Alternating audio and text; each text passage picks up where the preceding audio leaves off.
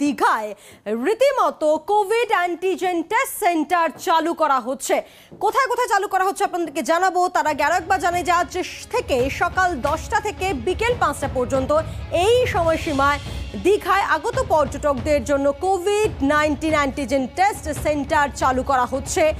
এবং দুটি টেস্ট এই সেন্টার চালু করা হচ্ছে। কোথায় কোথায়? বিস্তারিত জানব আমাদের সঙ্গে রয়েছেন টেলিফোনে কিরণ রয়েছেন। কিরণ দীঘায় এর আগেই জারি করা হয়েছিল যে দীঘার হোটেলে থাকতে হলে শংসাপত্র দেখাতে হবে ভ্যাকসিনেশনের এবং নেগেটিভ রিপোর্ট দেখাতে হবে। এবার যে সেন্টার চালু করা হলো কোথায় কোথায় এবং কীভাবে সুবিধা পাবে সাধারণ মানুষ? দেখো গতকালই প্রশাসন কড়াকড়ি ভাবে রাস্তায় নেমেছিল এবং পর্যটকরা যাতে এই নিয়ম মানে আহ, নজরদারি চালাচ্ছিল। সেক্ষেত্রে দেখা যাচ্ছিল বহু পর্যটক যারা কেউ একটা ভ্যাকসিনেশনের সার্টিফিকেট নিয়ে চলে আসছেন, কেউ বা টেস্ট না করেই চলে আসছেন। সেক্ষেত্রে তাদের অনেক ক্ষোভ ছিল, সমস্যাও দেখা দিচ্ছিল। তবে যাদেরকে ফোন করে জানিয়ে দেওয়া হয়েছিল, হোটেল মালিকদের পক্ষ থেকে, যাদের আগের থেকে হোটেল বুকিং ছিল, তারা বেশিরভাগ ক্ষেত্রেই তাদের যারা এই দুটো ক্রাইটেরিয়া আছে, তারা তারা এসেছিলেন, বাকিরা হোটেল বুকিং পিছিয়েছিলেন বা ক্যান্সেল করেছিলেন। সেক্ষেত্রে সব দিক বিবেচনা করে হোটেল মালিকরাও আর্জি জানিয়েছিলেন এবং পর্যটকদের সমস্যার কথা মাথায় রেখে প্রশাসন আজকে দীঘাতে দুটি এই সেন্টার, কোভিড টেস্টের সেন্টার খুলছে অ্যান্টিজেন টেস্ট করা হবে এখানে। এবং খুব তাড়াতাড়ি পর্যটকদের এই রিপোর্ট হাতে দিয়ে দেওয়া হবে এমনটা আমরা জানতে পারছি।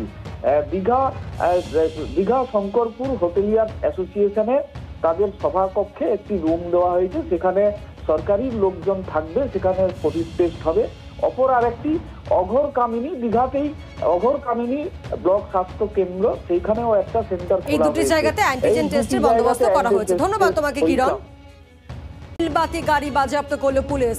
সিবিআই অফিসার পরিচয় গাড়ি ভাড়া রীতিমতো কাগজপত্র দেখেই কার রেন্টাল দাবি গাড়ি মালিকের। রবীন্দ্র সরণি থেকে গাড়ি নিয়ে যাওয়া হলো জগাছায়।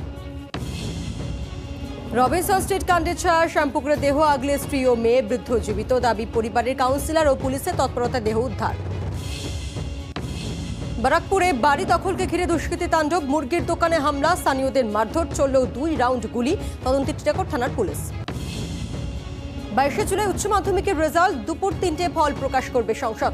রেজাল্ট জানা যাবে ওয়েবসাইট এস এম এস পরের দিনই মার্কশিট হাতে পাবে পড়ুয়ারা। উপত্যকায় বড়সড় সাফল্য সেনার পুলওয়ামায় সেনা জঙ্গি সংঘর্ষে খতম তিন জঙ্গি। নিহতদের মধ্যে লস্কর কমান্ডার আবু হুরাইরা।